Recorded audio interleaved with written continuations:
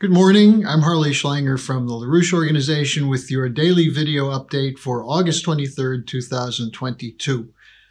I'm going to be reporting today on the trend of escalation of military conflict as a result of a development which occurred near Moscow on August 20th, as well as the ongoing deterioration of most of the economies of the transatlantic world and the world as a whole.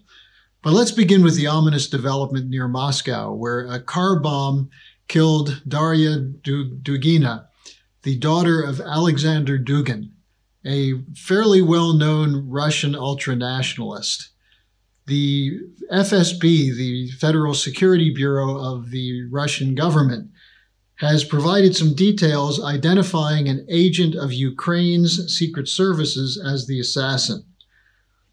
Uh, Dugina is a journalist, an activist, as I said, the daughter of Alexander Dugin. Uh, the Ukrainian officials are denying that they had any involvement in this. But the Russian spokesman, including the head of the Donetsk People's Republic, said if Ukraine's role is verified, quote, then we are talking about a policy of state terrorism carried out by the Kiev regime, unquote. Now, what should be investigated here is not simply the crime scene, but the ongoing collaboration between NATO's Special Operations Forces and the Ukrainians. There was an article in the New York Times last week detailing the role of the British Special Forces in training saboteurs and assassins of Ukraine who are operating behind the lines in, in the Russian controlled areas of eastern Ukraine. Uh, we've also seen an escalation in drone attacks uh, in Crimea, uh, as well as very suspicious and likely Ukrainian attacks into Russia. Now, this is, of course, extremely dangerous. You're playing with fire. But the deeper problem is that the West has cut off diplomatic channels with Russia. And this has come from the United States, from the British, and NATO. Who is there to negotiate with? Zelensky keeps saying he wants to negotiate with Putin, but he's being told by Biden, by Boris Johnson, and others not to negotiate, to continue fighting as NATO pours in more weapons in what will most likely be a losing cause in Ukraine. During the Cuban Missile Crisis, when the world came very close to nuclear war in October 1962, there were extensive back channel negotiations conducted between, on behalf of John F. Kennedy, the US president, and Nikita Khrushchev, the Russian leader. This probably prevented nuclear war. Are there such channels today? If so, are they being used? The Russians are saying no. The Russian ambassador in Geneva to the UN agencies, Gennady Gatilov, said, quote, I do not see any possibility for diplomatic contacts, unquote. He added that the longer the conflict continues, the more difficult it will be to have a diplomatic solution. Well, as I reported the other day, President Putin at the Moscow International Security Conference said that it's not Russia which is isolated, but the West, which is becoming increasingly isolated from the rest of the world. This became clear at a discussion that took place yesterday of the UN Security Council session that was called by China, because China is now the temporary chair of the UNSC, to discuss the topic of maintaining peace and security through dialogue and cooperation. The many of the countries involved in the Security Council took up multiple topics on, on the whole question of addressing food insecurity, uh, the, the question of ending wars, multilateral cooperation to do that. And what was clear is that the only countries that were not interested in this dialogue were the United Kingdom and the United States. The ambassadors from those two countries used their time to denounce Russia and not to address any of the substantive issues that were put on the table by the other members of the assembly. The Indian ambassador, for example, spoke of the need for new financial and security architecture, which is what the Schiller Institute has been saying is absolutely necessary to escape this moment in history without serious consequences. But that's not in the interest of the unipolar strategists who are dictating the policy to the Western world and are attempting to bully the rest of the world to submitting to it. One of the problems they're having is that the policies coming from the transatlantic region, especially from London and Wall Street, are leading to an escalating economic breakdown. And this is going to create a hot autumn in response.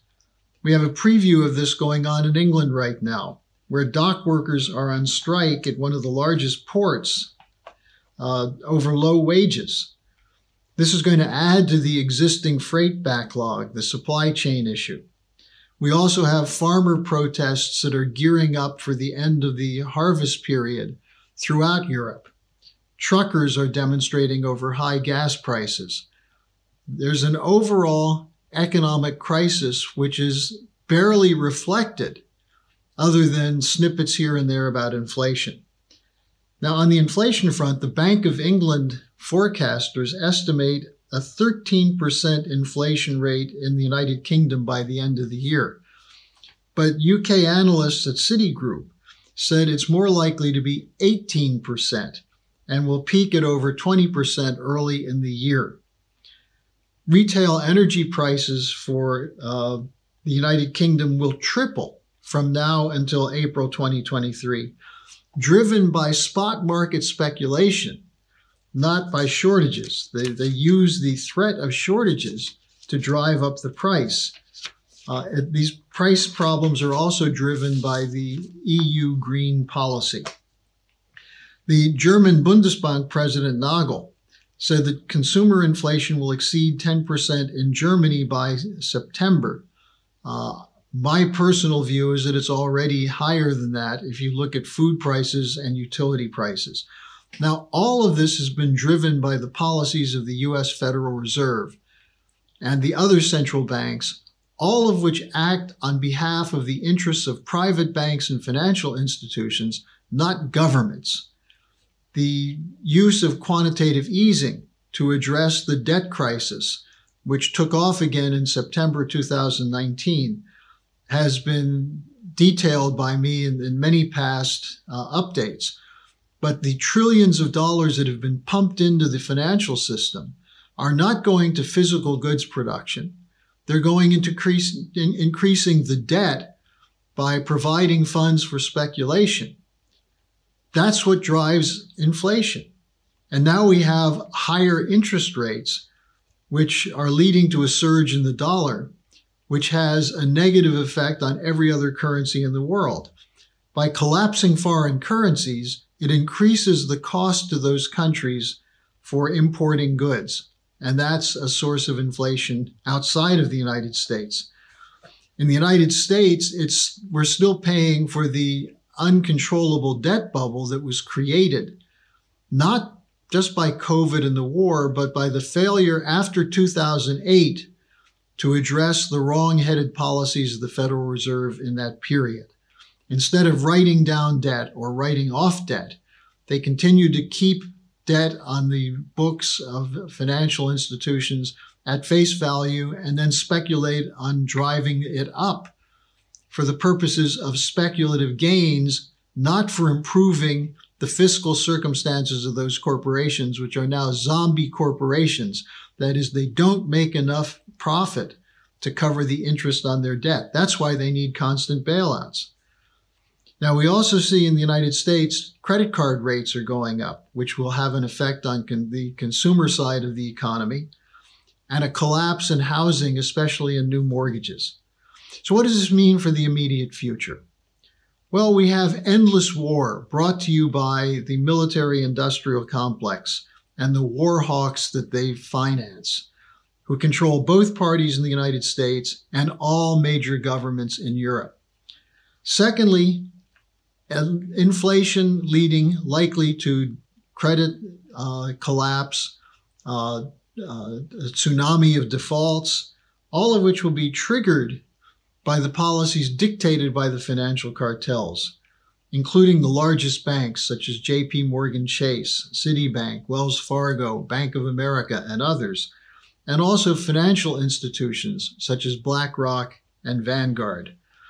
Now, these financial predators will be meeting at the end of the week for their annual get together in Jackson Hole, Wyoming. Uh, keep in mind, it was in the Jackson Hole meeting in 2019 where the decision was made to launch the Great Reset by creating a, an alliance of banks and financial institutions that would not only centralize credit policy, but would insist on controlling fiscal or spending policy. This happened in August 2019, driven by the policies of the World Economic Forum, Klaus Schwab, Prince Charles, and their, their fair haired banker, Mark Carney, who announced that they were going to reach an agreement to lend money only to green policies and cut off credit to any company that